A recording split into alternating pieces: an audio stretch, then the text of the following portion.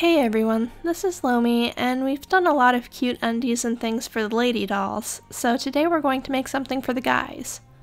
I've got a couple patterns for boxers I've made and put on my site for download, but since I can't possibly make something for every size of doll, the first thing I'm going to do is show you how to make your own pattern for boxers, or regular shorts, from a pants pattern. There are lots of patterns for pants out there, and if you don't have one specifically for your doll, you can start with a pattern drawn from my leggings tutorial too, so you'll be sure it fits. So this is my SID pajama pants pattern, which is already kind of a relaxed fit, so it won't need much work. I trace around the top part of both halves, front and back. If you're a messy tracer like me, you'll want to straighten up your lines a little with a ruler after you trace. Then we're going to decide where the bottom edge of this new pattern will go, starting with the inseam. When you draw this, make sure you leave enough space for your seam allowance at both ends of this line. Measure down from the peak of the pattern that goes in the crotch and mark your line. This can be however long you want it to be. You'll want this to be the same length for both front and back pieces, so that the pieces will line up nicely.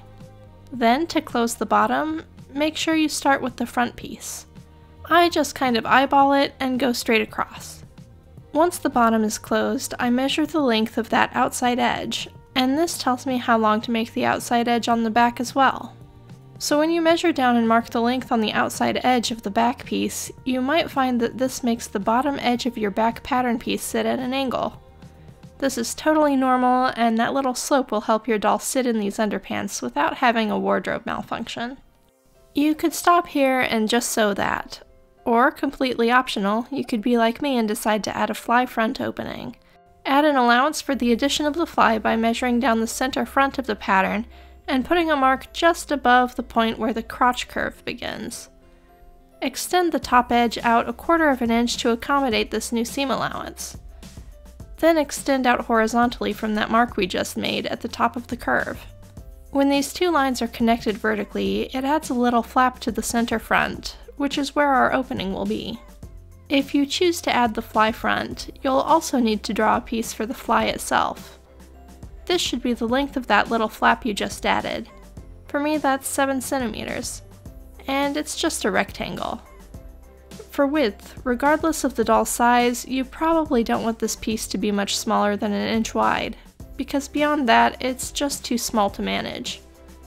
I make mine 3 centimeters wide, which is about an inch and a quarter, and that's plenty for what we need it to do. Remember, this includes your seam allowance for sewing this on, so once I get this attached, this piece will only be a bit over a quarter of an inch wide. It's kind of funny, because when I started this project, I drafted a pattern for SID boxers from measurements, and it ended up being literally identical to this pants pattern, since it's for the same doll and I took the same measurements.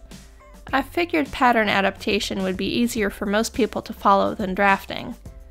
This particular pattern I've made doesn't have a waistband piece.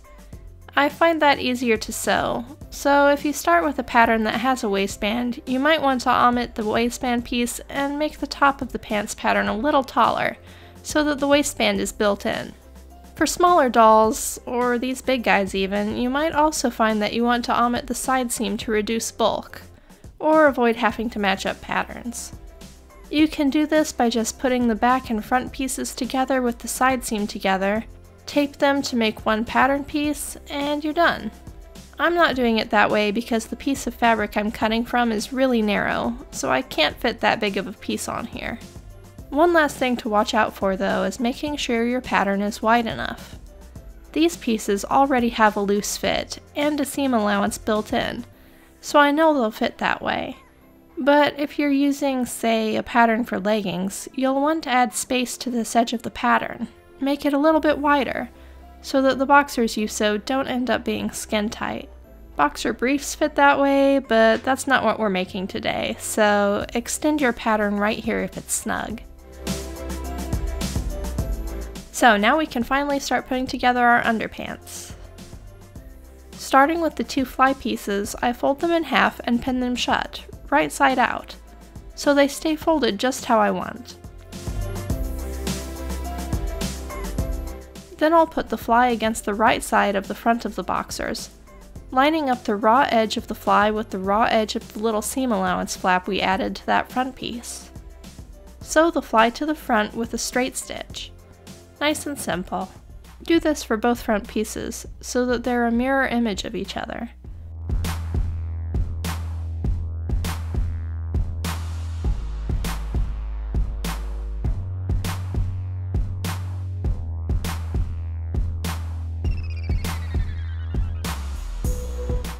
Then finish the edge where the fly and front are connected together with a zigzag stitch.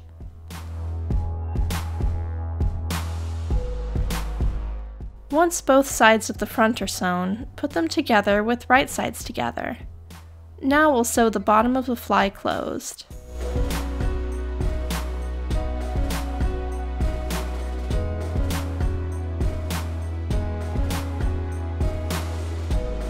Sew from the edge of the fly and toward the middle of the garment until you reach the edge of the fly fabric. Then turn and sew down along the curve to close the front crotch. If the pattern you're using doesn't have a fly, then you'll just sew this whole front curve closed in one go. Finish this edge with a zigzag stitch too. When you flip this right side out, ta-da! Easiest fly you'll ever make. Next, we'll put the front and back pieces together with right sides together and sew the side seams closed. If you chose to eliminate the side seam in your pattern, you can obviously skip this step. Otherwise, sew these together, backstitching at the beginning and end of each seam.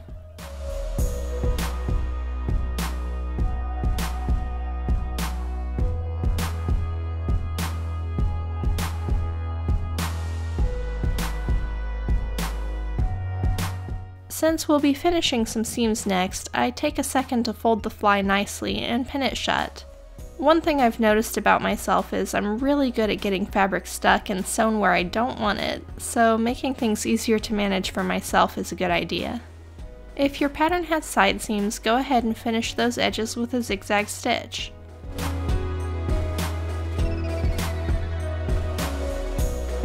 Then it's time to start working on the waistband.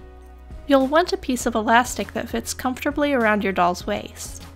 I usually put elastic around my doll, pin it, and cut it off instead of trying to deal with measurements on stretchy stuff. Unlike pants, the waist of boxers don't open at the fly, because they rely on elastic for the fit. Which means this fly is 100% useless on a doll, even for dressing purposes, but who cares. Finish the whole top edge with a zigzag stitch. This will sew the top edge of the fly closed, but that's fine, we've got extra space built in for the waistband. Make sure all your threads are clipped, then fold the top edge to the inside about half an inch. A little more is fine, but a little less will get you in trouble, so err on the side of more.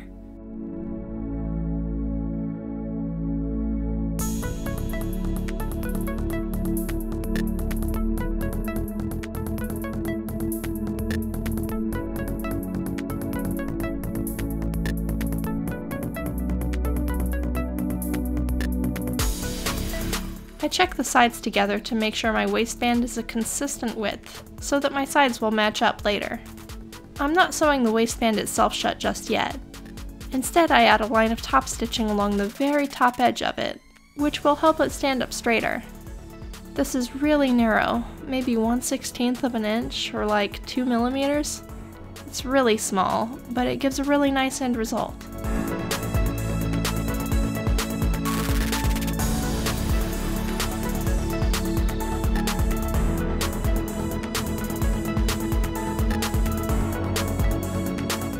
Next, we'll determine how wide the channel for the elastic needs to be.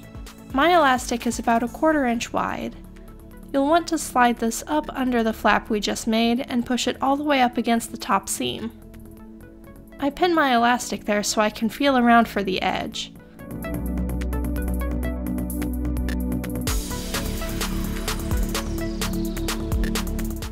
It's right here, so I move down just a shade and put in a pin to mark where I want the bottom seam to go. I don't always have the same size of elastic on hand, so figuring out how to fit different sizes of elastic is a good thing. The elastic should slide freely through a channel this size, and it looks like mine does. So I pull out the elastic for now and pin the whole waistband down. I find it's easier to thread the elastic back through later instead of risking it getting caught in my stitches.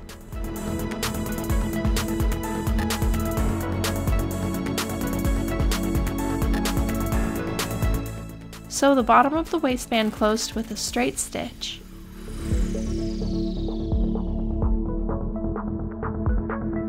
There we go, waistband done.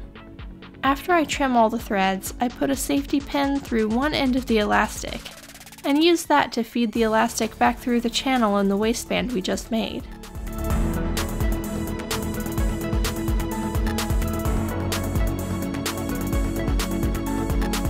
I'm slow at this, so we'll fast forward a bit. Your elastic will obviously be shorter than the full length of the waistband, so make sure you pause before the elastic gets pulled all the way in. I pin the elastic in place at the edge when there's just a little tail left. Then finish feeding it through. I'll pin it in place at the other end and remove the safety pin. Now we can close the back center seam. Fold the boxers so the right sides are together and line up and pin that center back curve. I like to start at the waistband because it doesn't matter if the crotch part doesn't line up exactly right. But if the waistband isn't level, you'll definitely notice it. Keep the pins in your elastic too, or your elastic might escape.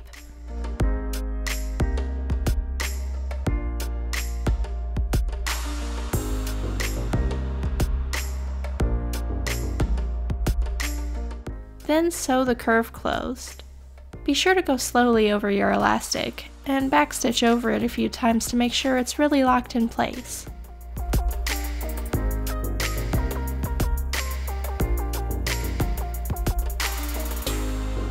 Trim off the extra elastic and finish the edge with a zigzag stitch.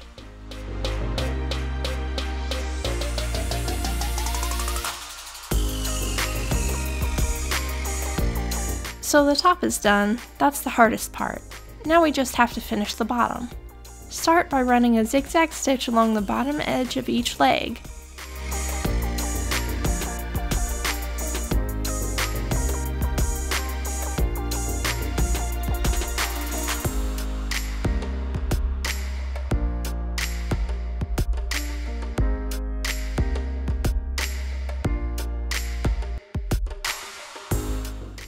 After the edges are finished, you have the option of making a rolled hem by folding the edge once and then folding it on itself again. Or you can just fold it once.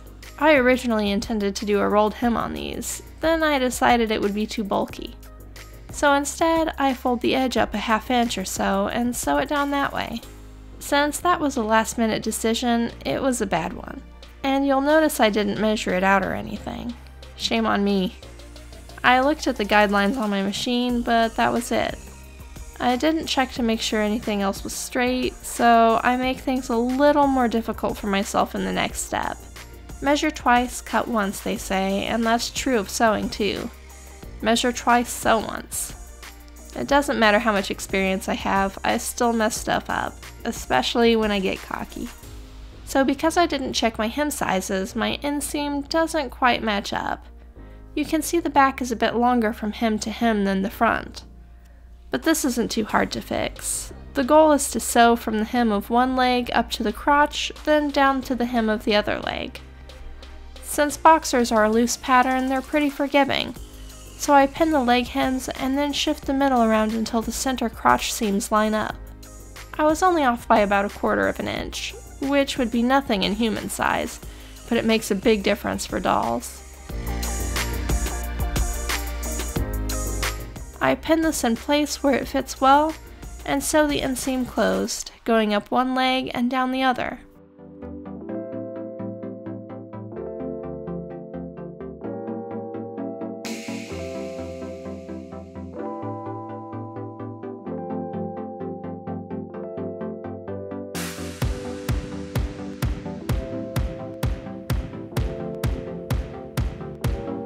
Then I can cut off that extra little triangle of fabric where I messed up the fit. I'll finish that seam with a zigzag stitch, and I'll be more careful next time.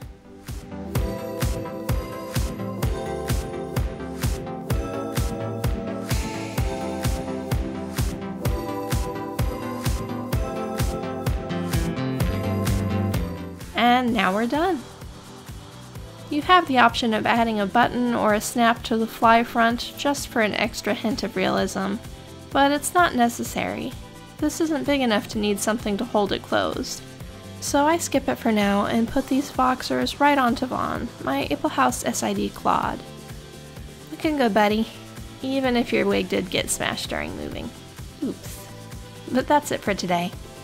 Thanks for joining me again. Bye.